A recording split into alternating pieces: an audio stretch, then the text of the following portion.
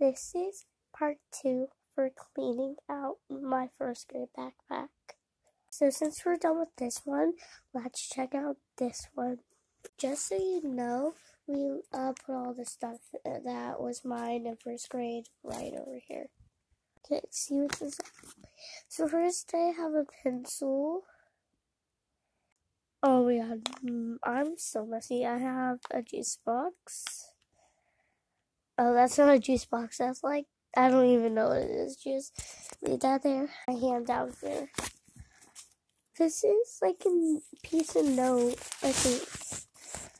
Let me go show you this. What is it? I don't even know. These are important pages. So we're not reading this because it's our diary. Come back for part three because I'm running out of time. Bye.